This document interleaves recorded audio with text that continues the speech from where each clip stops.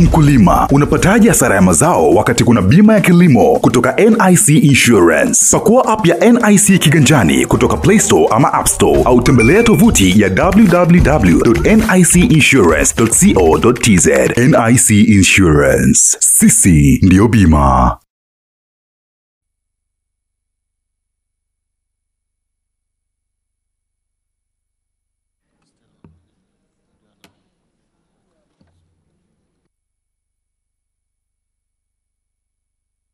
Mheshimiwa Ole Sendeka, umeshazima kisemeo?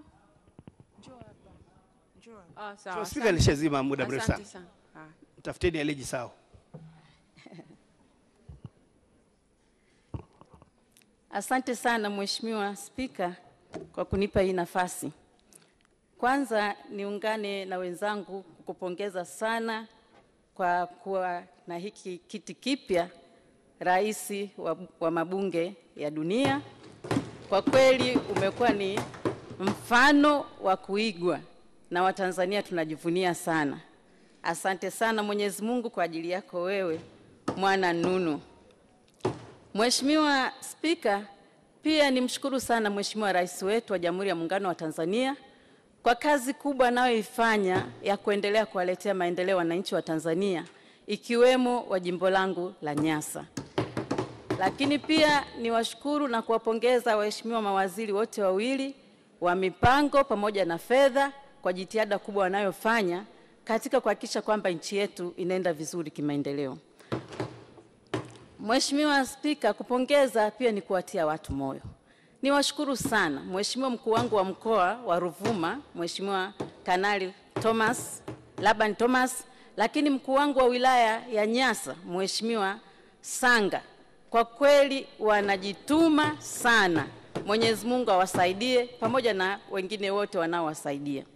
Mheshimiwa Spika, leo jambo langu litajikita hasa kupitia mipango hii katika eneo la maendeleo jumuishi, na hapo naiangalia uh, katika maendeleo endelevu ya mwaka 2030 lengo la tatu la afya pamoja na kuleta ustawi wa watu. Katika mpango, mipango hii inayoletwa mbele yetu, watu ndio kiini, watu ndio jambo kubwa kuliko jambo jingine lolote lile. Kwa hiyo ningependa kujikita hapo, na kwa sababu mipango inapendekeza kuangalia maendeleo jumuishi. Mheshimiwa Spika, leo nataka nijikite katika swala la lishe. Nimejiuliza sana, mimi sio mtaalamu sana katika masuala ya afya, lakini kama mtu ambaye huwa napenda ku, ku, kulisikia jambo na kulifanyia kazi, nimependa kujiuliza sana katika mikoa ambayo inaongoza kwa udumavu ni ile mikoa ambayo inaongoza kwa kilimo au kutoa chakula katika nchi yetu.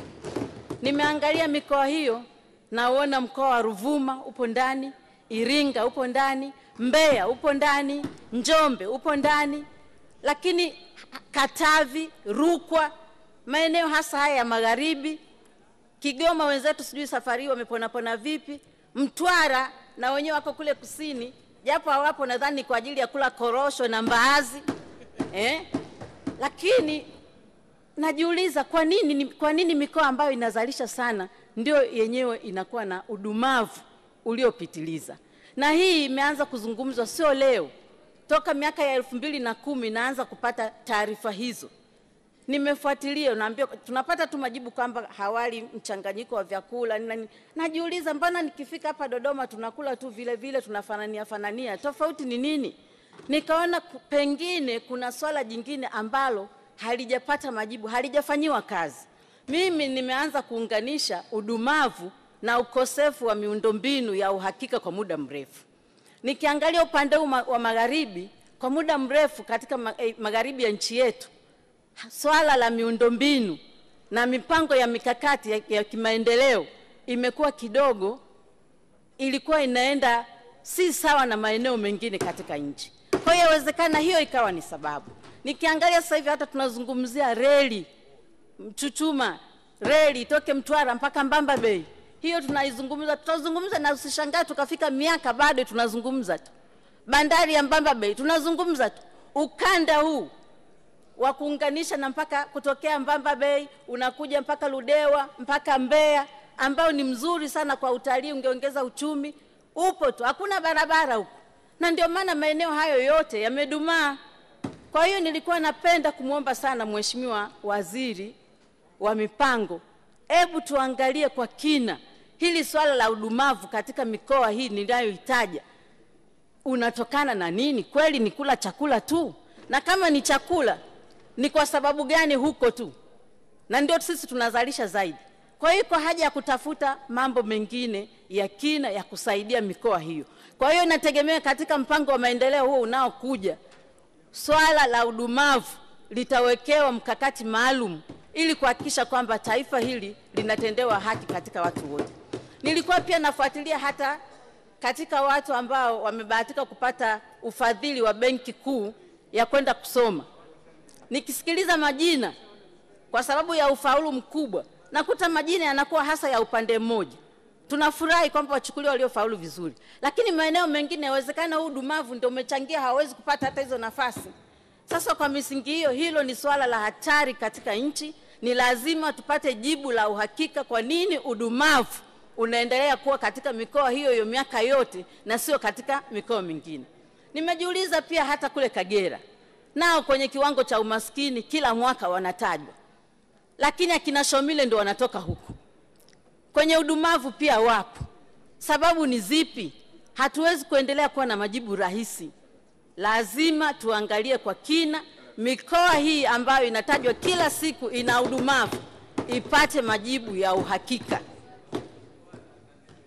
Mheshimiwa Spika, jambo jingine tunasema kwamba tunaangalia wananchi wetu waweze kuwa na ustawi, afya njema, lakini hizi shida pengine zinatokea kutoka kwenye kuzaliwa kwao.